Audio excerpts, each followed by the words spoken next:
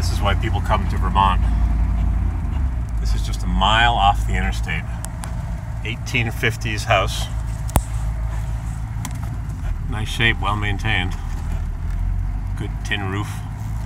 Good tin buddy. Look at this old barn, the old silo made up of boards stacked on their edge, on their side rather, on their flat.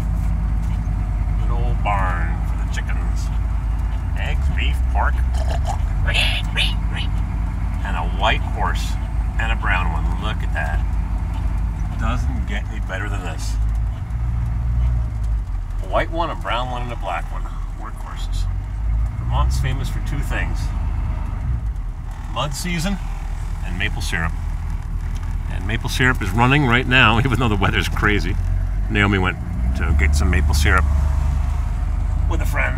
Those are beautiful horses. It's time for a